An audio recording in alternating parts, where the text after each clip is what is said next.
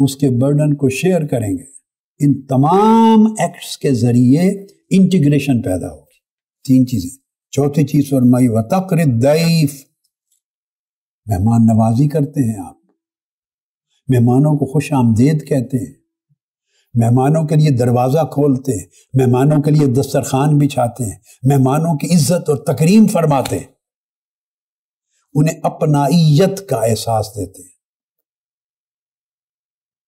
तो मेज़बानी करते हैं मेहमानों की।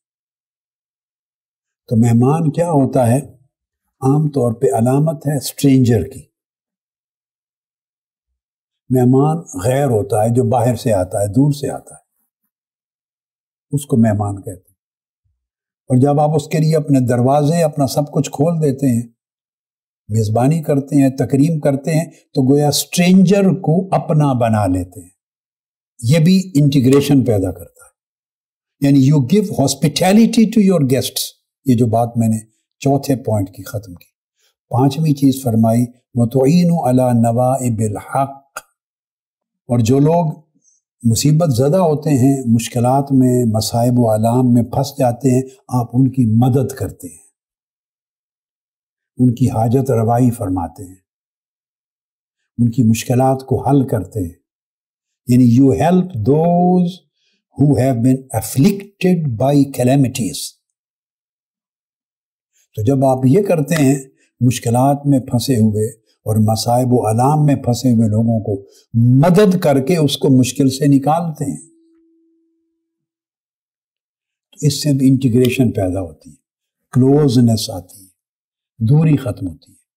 ये पाँच चीज़ें हुजूर नबी अकरम सल्लल्लाहु अलैहि वसल्लम की सीरत तैयबा की वो हैं जिन्हें हज़रत खदीतुल्कुबरा रज़ी अल्लाह ने आपकी सीरत तैयबा पर दी जाने वाली पहली स्टेटमेंट में हाईलाइट की। तो ये पाँच प्रिंसिपल्स पर बेस करता हुआ the whole integrational character of holy prophet अलैहि वसल्लम। कि आप किस तरह इंटीग्रेट करने वाले नबी और इंटीग्रेट करने वाले रसूल। ये वो पहली चीज़ है जो आकल सलाम की सीरत तैयबा में अता हो। ये एक गोशा हो गया।